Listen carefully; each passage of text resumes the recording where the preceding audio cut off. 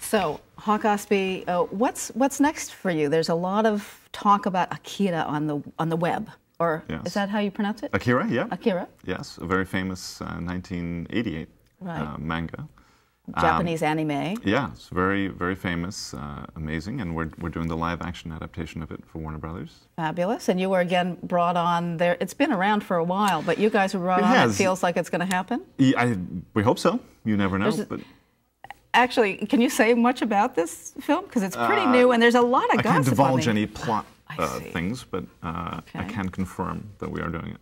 You know, it, it was interesting. Hollywood is gossip is such an industry. You're all Yeah. over the place, and, and one of the things is this because they're always trying to get things. What's what's that like to live with, or do you sort of ignore it, or we don't do get deal a lot with of that stuff? I mean, you know, if, if you're a star, I'm, I'm sure you, you get you know a, lot of that stuff. But uh, you know, it is funny sometimes reading things that are utterly inaccurate. You know, uh, about just projects where where. Uh, you know, everybody's convinced it's one way, and, and they, that, you know, so much of it is just, it's, it's not, it's know. such an industry, though. That whole gossip. Oh, it is. piece. It's amazing. I mean, one thing, and you can really watch it evolve across sort of, you know, uh, across the web. Somebody will post, you know, an article on something, and then, you know, two days later, you'll read it over here completely upside down and, you know, inside out. Wow. So, yeah, you never. I mean, y- you know, it's it comes with the territory, but but um, But you also have an original screenplay that is Yeah, we do. in production or has no, been shot. uh, not yet. Uh, but we we did a uh, what's called a sizzle reel for it,